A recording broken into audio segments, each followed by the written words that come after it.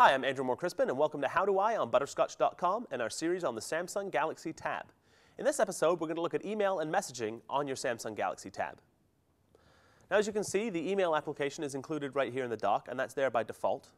We can also access uh, this application or any other by tapping on the uh, full applications list there. So let's enter into our email account. Now, you can see we are presented with a pretty standard view on our messages. We can scroll through, tap to read.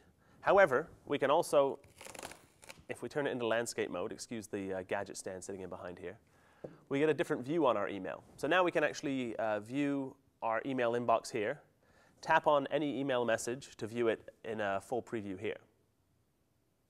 Now, anytime we have a message open, we can tap on this button here, and that'll allow us to move uh, a message into a folder. So here you can see inbox and trash, standard folders that any Gmail account has. These are all uh, folders that we've actually set up. Now we have to set up the folders on Gmail on a desktop or laptop PC. We can't actually do that uh, in this application. We can also tap the button uh, beside that one to send a message to trash. Goodbye. And at any time, with a message open, we can tap on this button to either reply to the message or forward the message to a, to a list. And at any time, we can also tap on the Compose button, which is on the far right, and we can um, address our message. If we tap on the Contacts button here, we open up a full listing of all of our, uh, all of our contacts.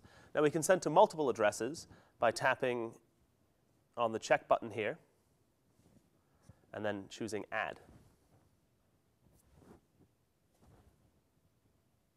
We can do the same thing in the uh, CC and the BCC fields. Now what we need to do is uh, enter our subject, enter our message, and hit send. We can also choose to attach a file.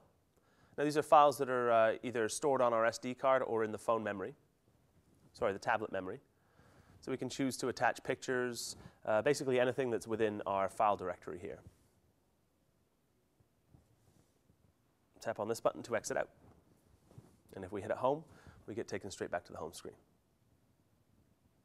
Now let's have a quick look at uh, SMS and MMS messaging. So if we open up our applications list here and choose messaging, now we're able to compose SMS messages to our friends. At any time, we can press the compose button to enter into compose mode. Now we can either type in a name or we can actually input a phone number directly. And then if we hit next, we actually type in our message in this field.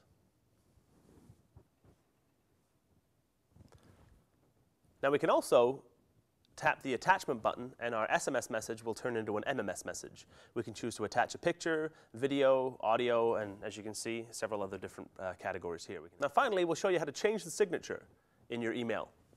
So by default, it'll uh, come up saying sent from my Samsung Galaxy tab.